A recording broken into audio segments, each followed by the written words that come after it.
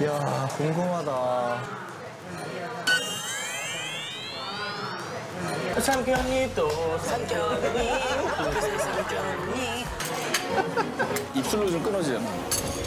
너무 부드러워. 이게 대만의 아침 식사. 이게 왜 한국에 안 들어왔는지 저는 아직도 모르겠어요. 일단 안쪽으로 들어갈까요? 어. 어. 삼겹니, 삼겹니, 그새 삼겹니.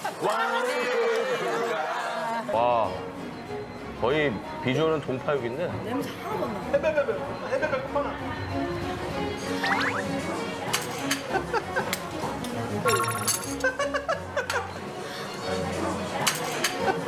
입술로 좀 끊어져요. 너무 부드러워.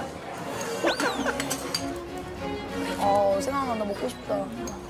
저건 먹으려면 타이 좀 가야 되잖아. 이게 치아가 필요 없어요. 혀로 눌러서 다 소화시킬 수 있어요.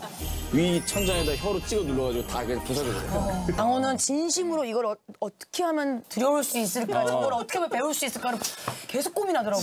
아, 나는 이거 대만식 족발 이게 생기면은 네, 이름 자체가 이거 잘 돼요. 잘 돼요. 너무 맛있을 것 같아. 그러니까 우리나라 양념하고 비슷한데 또 달라. 자, 그럼 여기서 킥이 하나 또 들어갑니다. 뭐 뭔데 뭔데? 이 집만의 특별 비법 매콤한 소스가 또 잠깐 맵, 맵다고 했던 장 맵, 맵다고 했던 장. 아, 진짜 짠. 이게 진짜 짠이야. 소스의 천국이에요. 이거가 어제 그 우리 샀듯이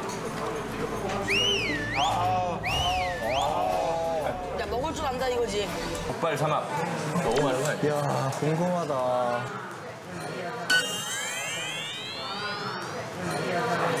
괜찮아?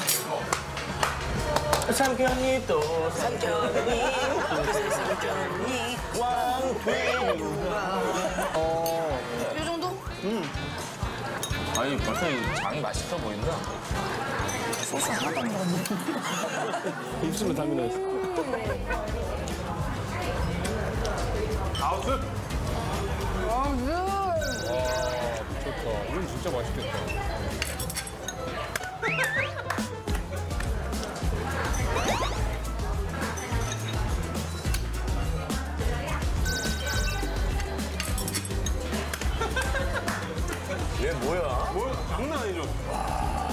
샀는데? 나도 샀어. 어디 갔지? 오는 길에 먹었겠지 뭐. 아닌데? 누가 훔쳐갔지?